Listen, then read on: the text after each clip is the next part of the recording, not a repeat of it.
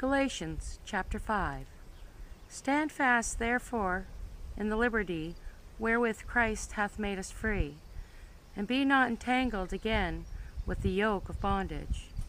Behold, I, Paul, say unto you that if ye be circumcised, Christ shall profit you nothing. For I testify again to every man that is circumcised that he is a debtor to do the whole law. Christ is become of no effect unto you, whosoever of you are justified by the law. Ye are fallen from grace.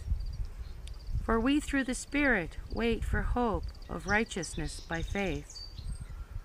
For in Jesus Christ neither circumcision availeth anything, nor uncircumcision, but faith which worketh by love. Ye did run well. Who did hinder you, that ye should not obey the truth? This persuasion cometh not of him that calleth you. A little leaven leaveneth the whole lump.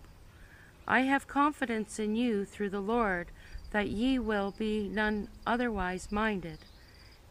But he that troubleth you shall bear his judgment, whosoever he be. And I, brethren, if ye yet preach circumcision, why do I yet suffer persecution? Then is the offense of the cross ceased. I would they were even cut off which trouble you. For, for brethren, ye have been called unto liberty. Only use not liberty for occasion to the flesh, but by love serve one another. For all the law is fulfilled in one word, even in this Thou shalt love thy neighbor as thyself. But if ye bite and devour one another, take heed that ye be not consumed one of, of another. This I say then walk in the Spirit, and ye shall f- not fulfill the lust of the flesh. For the flesh lusteth against the Spirit, and the Spirit against the flesh, and these are contrary to one another, so that ye cannot do the things that ye would. But if ye be led by the Spirit, you are not under the law.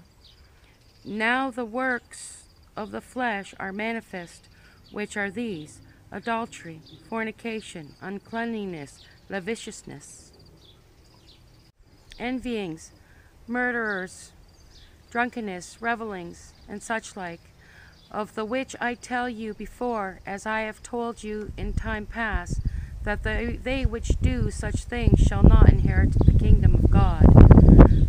But the fruit of the Spirit is love, joy, peace, long suffering, gentleness, goodness, faith, meekness, temperance.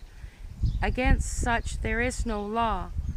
And they that are Christ's have crucified the flesh with the affections and lusts.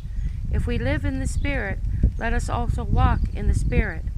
Let us not be desirous of vain glory, provoking one another, envying one another.